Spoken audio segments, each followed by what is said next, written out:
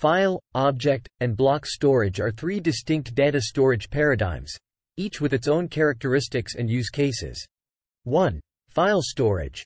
File storage is the most familiar and common storage type, resembling the traditional file systems used in personal computers.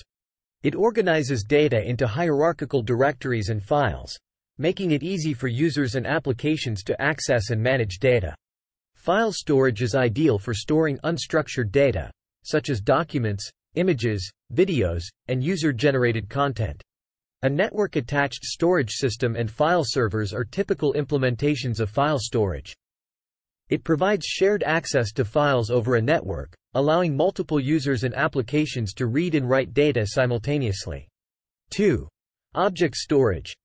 Object storage is a newer and more scalable storage model designed for the massive amounts of unstructured data generated in modern applications and cloud environments. Instead of using a hierarchical file structure, object storage organizes data as discrete objects, each with a unique identifier and associated metadata. These objects can be of any size, making object storage suitable for multimedia files, backups, and archives. Popular object storage systems include Amazon S3, Google Cloud Storage, and OpenStack Swift. Object storage is highly scalable, fault-tolerant, and accessible through APIs, making it well suited for cloud-native applications and content distribution. 3. Block storage.